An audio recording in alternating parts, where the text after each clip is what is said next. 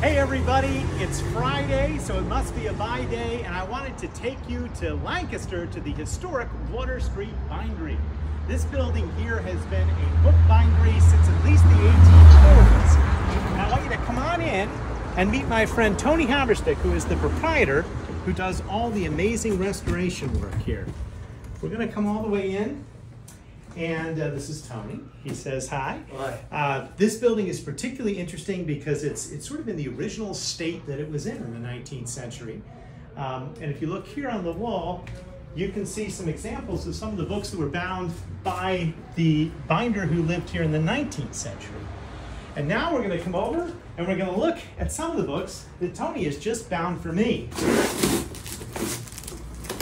When, uh, when we go to a book binder, we often go because the books that we have are not in contemporary binding. So I want to start with a book that originally had a library binding. It looked a bit like this.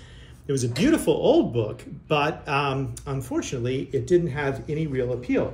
This book was published in 1649, and it's a famous book because it was published after the beheading of Charles I by Parliament um, in the aftermath of the English Revolution and is particularly famous because of this frontispiece portrait of Charles praying. The book came out right after Charles was beheaded. It went through a number of different editions, and it was something of a collectible book if you um, if you love the king, and so it was actually uh, dangerous to possess. And Tony has done a wonderful um, uh, uh, period binding for this in um, in full leather, and and that is an example of of why we might uh, come to have a book redone. Another thing which Tony has done has to do with a different Charles who was king of France a hundred years earlier than, um, than our Charles I. This would be Charles IX. Charles IX was a boy king of France, and he became king of France in, uh, in 1560.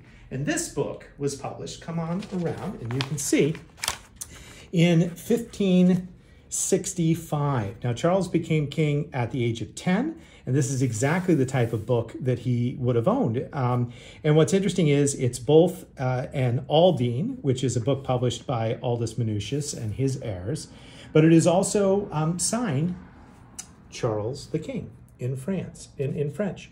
So uh, quite an amazing book. And Tony's put the boards back on. He's restored the hinges and the paper. It's two volumes and now it's readable. And one of the things that was really interesting about this book was it had all of this, what's called binder's waste. And these pieces of vellum uh, have to, or were basically used by the uh, original binders of the book as strengthening for the joints.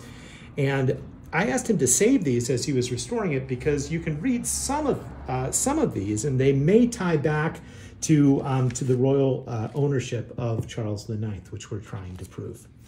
All right, we're going to end today on a funny book. It's not a laugh out loud funny book, but it is funny to me.